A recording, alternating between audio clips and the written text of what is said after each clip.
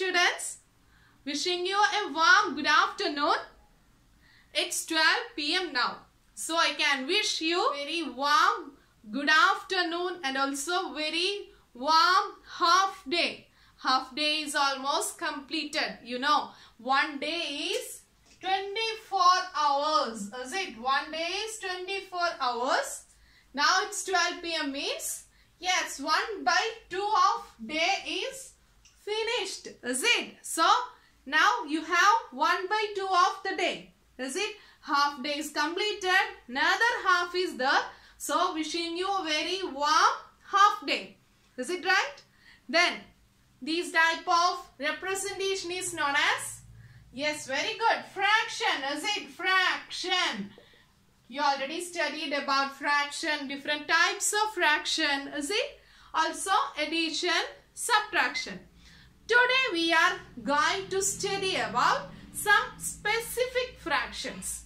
Some specific the word specific means selected fraction. That is fractions with denominator 10 100 and 1000 did you ever hear about these type of fractions? Yes very good. You already studied in your fifth standard is it these type of fractions are called yes come on.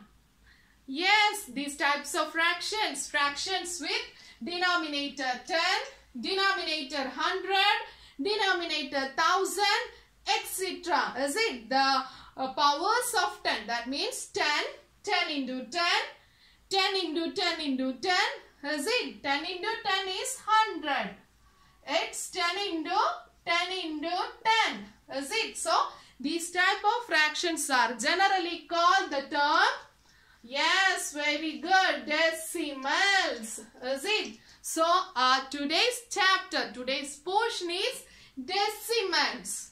As i said decimals are the fractions with denominators 10 100 and 1000 okay what other features you know about decimals. Can you explain anyone? What other features you know about decimals? Simply we can uh, def define as fractions. Fractions with denominator. Is it fractions in the form? In the form simply fractions in the form. 1 by 10 1 by 100 yes 1 by 1000 is known as decimals is it? That is 1 out of 10 1 out of 100 1 out of 1000 is it students? Then how can we represent without this denominator?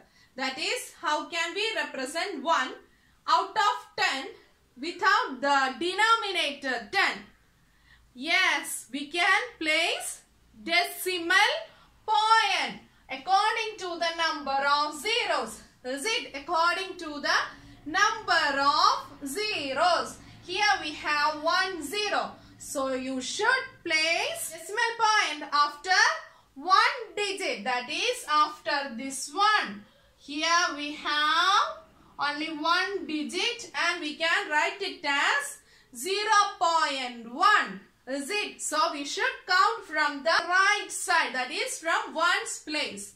And according to the number of zeros you should move yes the number of places and put the decimal point. Here we have two zeros. So start from the right side one. Then two zeros. So we should move two places. Two. So here we have no digits. So we should put yes zero. So we can write it as 0 0.01 and this will be very good. 0 0.001 is it? We have only one digit. We should move three places. As here three zeros so one two and three.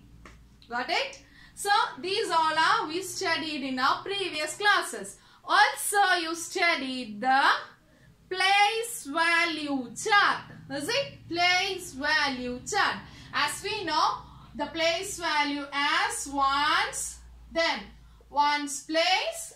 After that, yes, tens. Is it tens? It's tens place. Then, very good. Then hundreds. You know about the place value hundreds. After that, yes, thousands. It's gone. Is it? Then, here we represented the place value of a counting number. Is it? How can we represent the place value of a decimal number? Did you remember the place values of decimal numbers? Here we have suppose 4, 8, 2, 1. So ones place is 1. Tens place is 2 means 2 into 10. 20 is the value. Hundreds place 8 means 800 is the value. In the same way 2 by 10 means 2 out of 10. Is it 2 out of 10? We can write it as 0 0.2. Is it? And it is in the place of, place of, yes, tens. Is it tens? We can represent it as tens place, tens place. That is 1 by 10 means tens place. Did you know what will be the place values 1 by 100? Yes, hundreds place, hundreds place. 1 by 100 means hundreds place. Now, can you remember these words? Yes, of course. For a number 4821 point eight two one. Can we read it as 821? Never. We read it as 821. Is it? After the decimal, we should read digit wise. Is it? 821. So simply, we can write it as here. It represent, yes, ones place. Is it? Then 2 is represented as, 2 is in the position, yes, tens place. Is it? 2 is in tens place. Is it? Then 8 is in, 8 is in, yes, hundreds place. 8 is in hundreds place. And at last 4 is in, 4 is in, yes, thousands place, thousands place. So, the place value chart of counting number ones, tens, hundreds, thousands. Got it? Then we should mark the decimal point. Got it? Decimal point. After that, the first digit. First digit is in 1 by tens position. 1 by tens position. We can write it as tens place. Tens place. Got it? Tens place. And the second one is, second one, 2. 2 is in which position? Yes, 1 by hundreds position. 1 by hundreds. We can write it as hundreds. Hundreds. Hundreds position. Hundreds. 1 by hundreds. So hundreds. Tens. T-E-N-T-H-S. Tens. Hundreds. So you can simply write the one as 1 by thousands. It is thousands. Thousands. Got it students? So you know the place value of a counting number. Ones, tens, hundreds, thousands, ten thousands, etc. In the same way, place value of a decimal number. After the decimal, to the right side, the value is decreasing. Is it? Here we get 1 from 10. Here 1 from 100. So, the quantity will be, yes, decreased. Is it? So, here value is decreasing and the place values are 1 by 10 that is tens. 1 by 100, hundreds. 1 by thousand, thousands. Is it students? I think you all clear about the concepts. You can now remember the concepts which you already learned in your previous class. Is it? Then students, here it is 8 by 10. Is it 8 by 10? So we can represent it as 0 0.8. Is it 0 0.8? 2 is in hundreds position. So 0 0.02. Is it 0 0.02? Then 1 is in thousands position. So we can write it as 0 0.001. Is it 0 0.001? These three decimals joined together we get 0 0.821. Is it? So decimals are the fractions with denominator 10, 100 and 1000. Is it? Also the place values are tens, hundreds and thousands. So students, these are the basic concepts regarding decimals. Now, can you say where we use these decimals? Yes, in our daily life, we use the concept decimals in a lot of situations. Is it in a lot of situations? Measuring weights. Is it measuring weights? You know, usually we are measuring weights in which unit?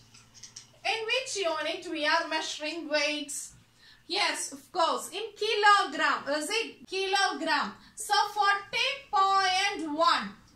What this indicates? The point 1. Can you say 49? 40 means kilogram. 40 kilogram and point 1 means point 1 means 100 gram. You know that? 100 gram. How did this 100 came here? You know, 1000 gram is 1 kilogram. Is it? 1000 gram is 1 kilogram. Here, point 1 means point 1 0 0. So, 100 gram out of 1000 gram.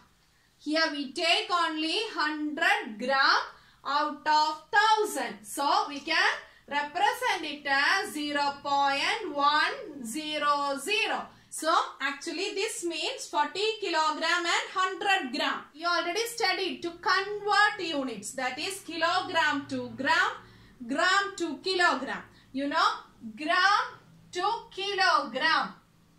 1000 gram is kilogram. So, to convert gram to kilogram, we should take out of 1000. That means process is division, is it? And simply you can say that kilogram to gram, that is higher unit to smaller unit, it's multiplication. So, the weight we represent in kilogram. So, convert gram to kilogram we get point 1. Point 1. So, by joining together, we can write it as 40.1. 40.1. Yes, kilogram, not gram. So, when you have decimal numbers, that means it's a combined form of greater and smaller quantity. Is it? Another example is representation of rupees and paisa. 20 rupees, 50 paisa. You know, here smaller is, yes, paisa. Rupees is higher quantity. And the conversion, 100 paisa is equal to 1 rupees. Is it right? Yes. Then 100 paisa is 1 rupees. So, 50 paisa means 50 out of 100. Point five zero rupees. Is it? Point five zero rupees. Combining together 20.50 rupees. Is it clear? So, the same way we can convert meter and centimeter. Milliliter, liter. Is it? So, students, decimals are very much related to our daily life. So, this is very important topic. To convert units in between, we need to know about decimals. So students, thorough with the topic. We will see at the DCS time to clear your doubts. Thank you.